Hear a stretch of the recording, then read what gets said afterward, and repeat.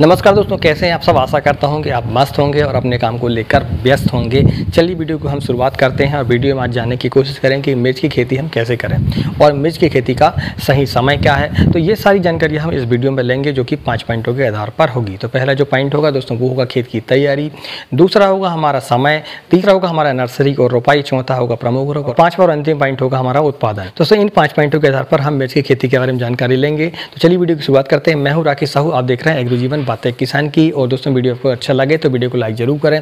और चैनल में यदि आप पहली बार आए ना तो चैनल को सब्सक्राइब करना ना भूलें, क्योंकि इस चैनल पर आपको बढ़िया बढ़िया जानकारी मिलेगी, जो कि आप यदि आप अपने फार्म पर इस्तेमाल करते हैं तो आप देखेंगे कि आपकी जो फ़सल है, वो बेहतर होगी। और यदि आपका कोई सवाल हो तो प्लीज़ आप कमेंट भी कर सकते हैं। और दोस्तों, वीडियो को अंत तक ज़रूर देखें, क्योंकि वीडियो को अंत में होगी विशेष बात। और विशेष बात मैं आपको बताऊँगा प्रमुख वैरायटियों के बारे में हरी मिर्च की भी और लाल मिर्च की भी। इसलिए वीडियो को अंत तक ज़रूर देखें। चलिए वीडियो की शुरुआत करते हैं और हमारे पहले पॉइंट की तरफ़ बढ़ते हैं। तो पहला जो पॉइंट है वो है दोस्तों हमारा खेत की तैयारी। तो खेत की तैयारी में सबसे पहला जो पॉइंट होता है दोस्तों वो होता है हमारा प्लाऊ। तो सबसे पहले आप जो है एक प्लाऊ कर लें। एक प्लाऊ करने के बाद कल्टीवेटर की सहायता से खेत को समतल करें और ज़मीन को भुरभुरी करें। तो आपको मिट्टी को भुरभुरी करना बहुत आवश्यक है और इसके बाद आप एक बार उसमें रेजर चला दें। रेजर चलाने के बाद उसमें बेसल डोज डालें।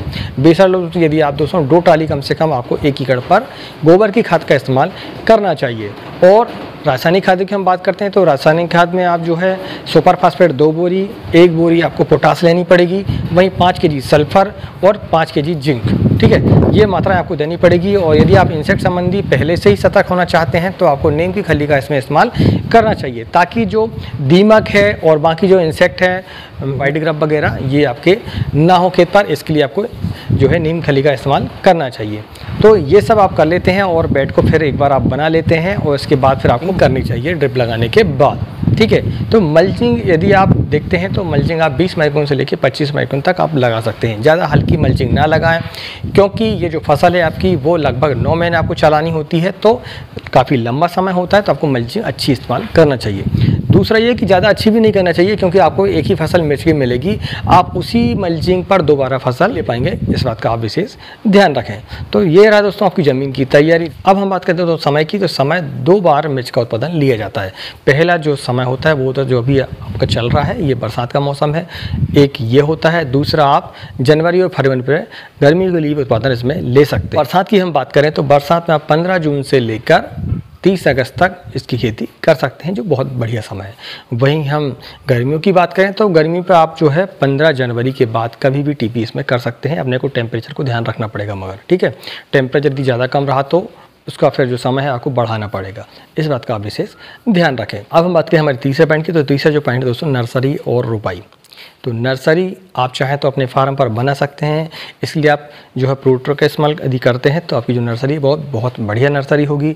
इस आप चाहें तो आई बटन पर जाकर वीडियो को देख सकते हैं कि हमें टमाटर और मिर्च की नर्सरी कैसी बनानी चाहिए और प्रोट्रे का इस्तेमाल करके कैसे हम नर्सरी को अपने फार्म पर ही बना सकते हैं और हमारे पैसे भी बच जाएँगे। और यदि आप ये नहीं करना चाहते हैं तो आप चाहें तो जो नर्सरी वाले होते हैं हमारे, वहाँ से पौधा आप खरीद के भी ले सकते हैं, जिसकी जो कीमत है वो लगभग एक रुपये से डेढ़ रुपये तक आपको पड़ेगी।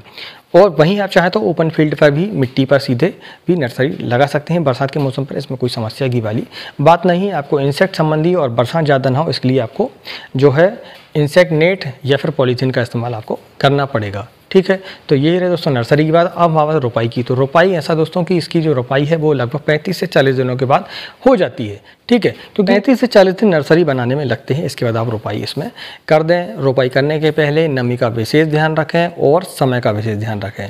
ठंड के मौसम पर आपको ठंड का ध्यान रखना पड़ेगा। वहीं हम बरसात की बात करें तो बरसात में आपको जो नमी है वो मेंटेन करनी पड़ेगी क्योंकि आप यदि अगेती फ़सल लेते हैं तो आपको विशेष ध्यान रखना पड़ेगा।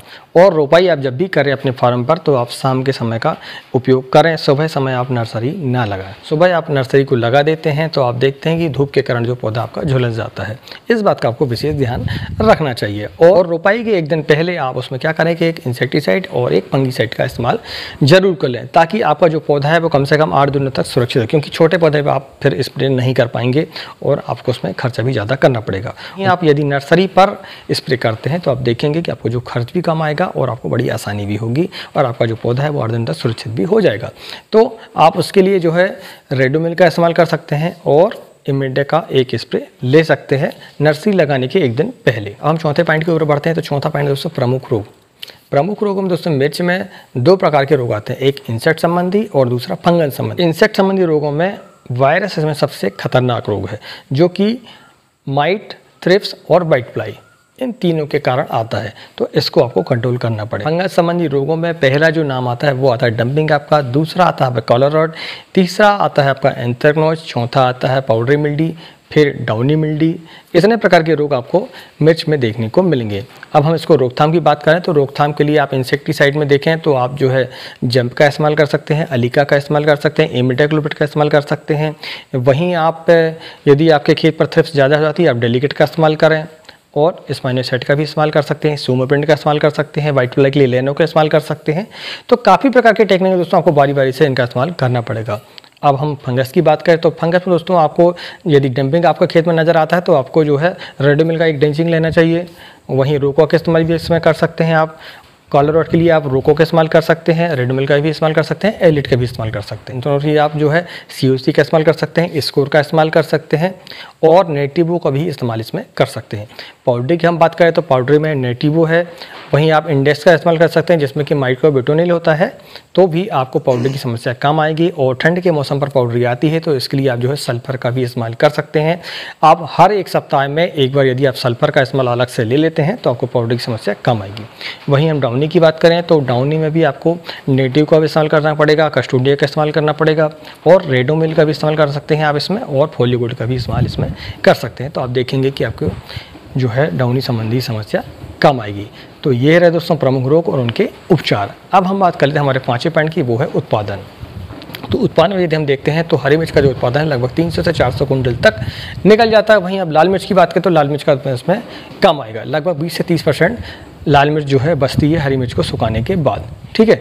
यदि आपका उत्पादन जो है, सौ कुंटल हो रहा है हरी मिर्च का तो वहीं आप देखेंगे लाल मिर्च का उत्पादन वो लगभग बीस से तीस कुंटल तक आ जाएगा। तो ये रहा दोस्तों उत्पादन। यदि ये वीडियो आपको अच्छा लगा हो तो वीडियो को लाइक ज़रूर करें और चैनल दिया अपने अच्छे चैनल को सब्सक्राइब करना ना भूलें। दोस्तों, वीडियो बनाने में काफ़ी मेहनत लगती है, मशक्क़त लगती है।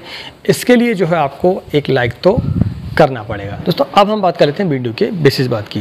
तो बेसिस बात में मैं आपको वैरायटी बताने वाला हूँ, हरी मिर्च की जो बढ़िया वैरायटी है। उनमें सबसे पहला जो नाम आता है, वो है ए की फोर्टी सेवन जिसकी जो खेती है, आप यदि करते हैं तो आप लाल मिर्च की तोड़ाई भी कर सकते हैं इसमें और हरी मिर्च की तोड़ाई भी कर सकते हैं। यदि आपको रेट अच्छे मिलते हैं तो आप हरी मिर्च का उसमें उत्पादन ले लें और यदि आपको रेट कम मिलते हैं मार्केट पर तो उसको आप छोड़ दें और उसको लाल मिर्च करके तोड़ लें आप, ठीक है? तो ऐसी ये वेराइटी है। वहीं आप चार सौ छप्पन को देखते हैं माइको कंपनी की तो वो भी ऐसी वेराइटी आप हरी मिर्च के भी ले सकते हैं, उसको लाल मिर्च में भी ले सकते हैं। माइको की तेजस के नाम से भी आती है, नवतेज के नाम से भी आती है। ये सारी वेराइटियाँ दोस्तों, हरी भी ले सकते हैं उसको, लाल भी ले सकते हैं। यदि आपको सिर्फ़ हरी मिर्च की खेती करना है तो आप बीएनआर की सुनिधि को भी लगा सकते हैं, जो कि झाड़ी नुमा उसका पौधा होता है, ज़्यादा हाइट भी नहीं लेता, उसकी तोड़ाई में भी समस्या नहीं है। उसका जो कलर है, वो डार्क ग्रीन होता है और मार्केट में उसके काफ़ी अच्छे रेट मिलेंगे हरी मिर्च के। वहीं आप क्लाउस की बात करें तो क्लाउस में अवतार के नाम से बढ़िया वैरायटी आती है। एडवांटा कंपनी की ए के फोर्टी तो आप लगा ही सकते हैं, इसमें कोई दिक्कत की बात नहीं है। वहीं बीएसएफ की बात करें तो बीएसएफ में आर्मर के नाम से जो वैरायटी आती है, वो बहुत बढ़िया वैरायटी है। सिंजिंटा की बात करें तो आप देखेंगे कि एक कम तिखी वाली मिर्च आती है पचपन इकतीस, जो कि मैंने अपने फार्म पर लगा चुका हूँ तो बहुत बढ़िया वैरायटी है। दोस्तों, मिर्च की खेती में सबसे बड़ा आपको ध्यान रखना पड़ेगा लेबर का, ठीक है? यदि आपके पास लेबर बढ़िया हो तो ही आप हरी मिर्च की खेती करें। यदि आपके पास लेबर कम हो तो हरी मिर्च की खेती आप थोड़ा इग्नोर करें, क्योंकि हरी मिर्च पर सबसे ज़्यादा लेबर लगते हैं। समय समय पर आपको तुड़ाई करवानी पड़ती है और तुड़ाई भी काफ़ी महँगी पड़ती है, लगभग तीन से चार रुपये पर के इसकी तुड़ाई लग जाती है लेबरों से। तो इस बात का आप विशेष ध्यान रखें। तो ये रहे दोस्तों प्रमुख वेराइटियाँ आप इन वेराइटियों में से किसी भी एक का चयन कर सकते हैं। आप देखेंगे आपको बढ़िया उत्पादन मिलेगा और रेडी बढ़िया मिलेंगे। ठीक है? तो दोस्तों, वीडियो में आज इतना ही। मिलते हैं अगले वीडियो में नई जानकारी के साथ। तब तक के लिए नमस्कार। जय हिंद, जय किसान, जय जवान।